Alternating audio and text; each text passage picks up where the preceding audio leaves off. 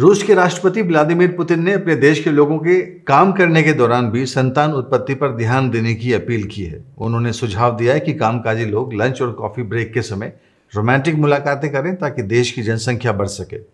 एक रिपोर्ट के अनुसार, पुतिन ने कहा, रूसी लोगों का संरक्षण हमारी सबसे बड़ी राष्ट्रीय प्राथमिकता है।